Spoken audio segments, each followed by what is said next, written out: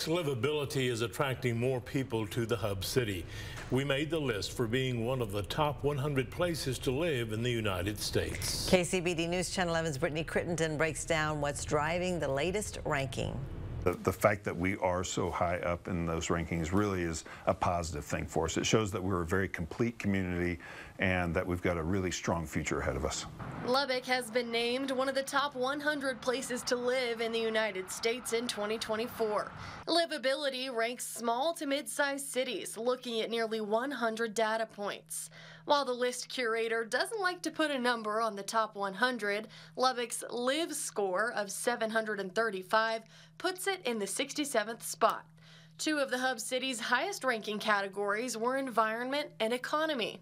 We're so used to our economy being very, very strong and very, very stable. Lubbock Economic Development Alliance President John Osborne says that's thanks to Lubbock's main industries like ag, healthcare, education, and tourism.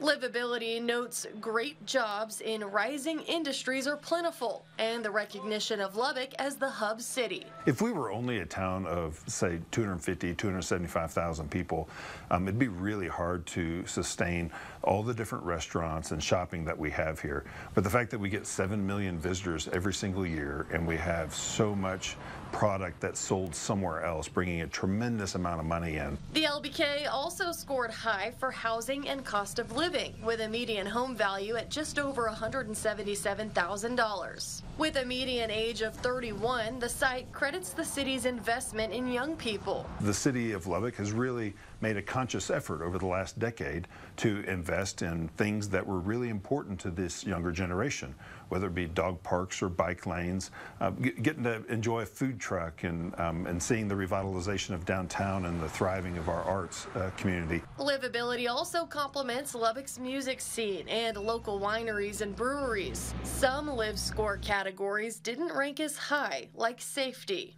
There's some areas that obviously are, we're not as strong suited in that we need to continue to see um, good efforts uh, made to improve. The Lubbock Police Department reports its creation of substations and community policing are helping bring those crime rates down. Along with attracting families to move to or stay in the hub city, Osborne says rankings like this one can help LEDA attract more companies.